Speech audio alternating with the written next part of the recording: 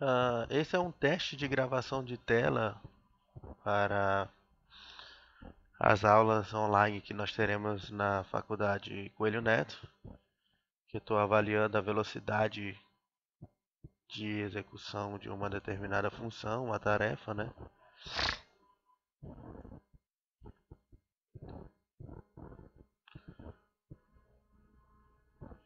Hum, reprodução de vídeo.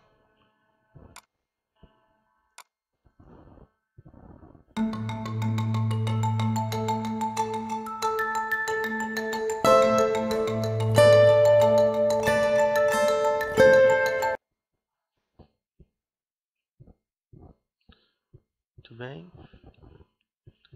Teste realizado.